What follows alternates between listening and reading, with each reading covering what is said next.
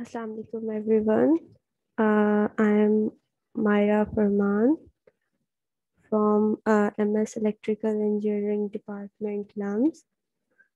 The paper that I'm going to review is Atomic Force Microscope, uh, published in 1986. This paper deals uh, with the invention of the atomic force microscope formed by combining the attributes of uh, scanning tunneling microscope and uh, stylus profilometer. Uh, the purpose of this research, uh, as indicated by the author, is the measurement of forces as less as 10 to the power minus 18 Newton. This is mainly done by monitoring the uh, elastic deformation of different types of spring for this purpose, the author has uh, uh, proposed a cantilever beam system uh, in which an ultra small mass is moved by an angle of 10 to the power minus 4 angstrom using a 10 to the power minus 18 Newton force.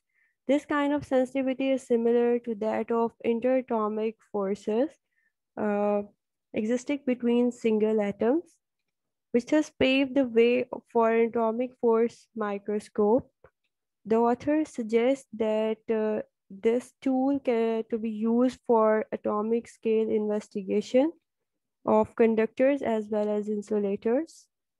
It is further predicted that uh, not only interatomic forces, but uh, also the electromagnetic forces are measured by this tool. Since the introduction of the Nobel Prize winning scanning tunneling microscope and then the invention of atomic force uh, microscope from the landmark publication by Binnig, Quate, and Gerber, the field of scanning probe microscopy has uh, exploded well beyond using interatomic forces uh, to image topography on the nanometer scale constructed by gluing a tiny diamond onto one end of spring made of a thin strip of gold. Uh, this was the cantilever of first AFM. The experimental setup formed by the author comprises uh, a cantilever beam attached with uh, a stylus, which is further capped between the AFM sample and tunneling tip it is further connected to a piezoelectric element uh, utilized to drive the cantilever beam at a resonant frequency. Here's a working principle of uh, AFM. The piezoelectric transducer moves the tip over the sample surface.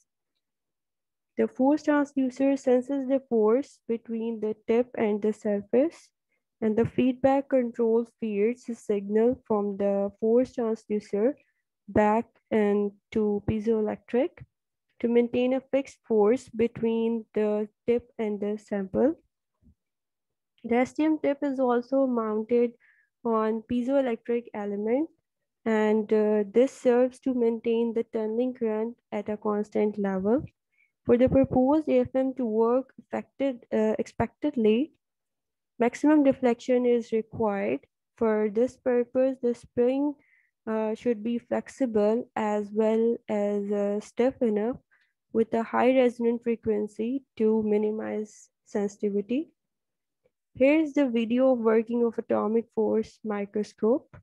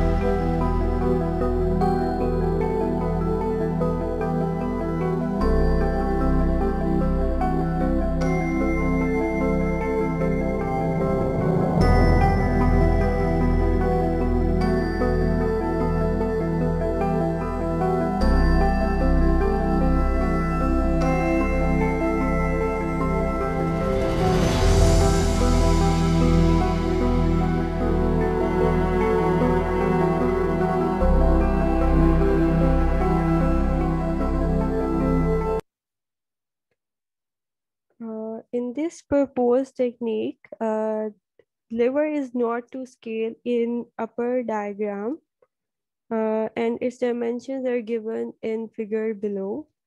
Uh, the STM and uh, AFM piezoelectric drives are facing each other, sandwiching the diamond tip that is glued to the lever.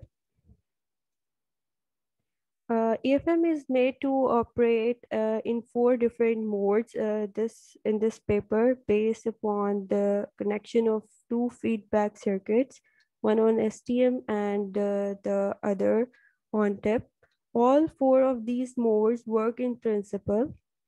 They each serve to maintain a constant force between the sample and the diamond stylus while the stylus followed the contours of the surface. Uh, out of all modes, the one with AFM and STM driven in opposite directions is considered the best.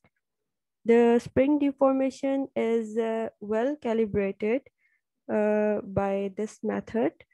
The author has claimed the limiting sensitivity of the system proposed to be much smaller than the interatomic forces of surface reconstruction.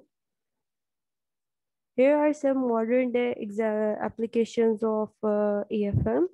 This uh, research holds vital importance in nanotechnology today based upon the wide use of AFM in imaging, measuring, and manipulating matter at the nanoscale. And as a result, has inspired many other scanning probe techniques. The use of AFM was originally restricted to image the surface topography, but uh, nowadays by modification of uh, instrument tip, many other quantities like magnetic and uh, electric properties, uh, chemical potential and friction can also be well monitored. There are some uh, shortcomings in uh, AFM technology. The major downside is the single scan image size. Uh, AFM can only image a maximum height on the order of uh, 10 to 20 micrometer and uh, a maximum scanning area of 150 to 150 micrometers compared with millimeters uh, for scanning electron microscope.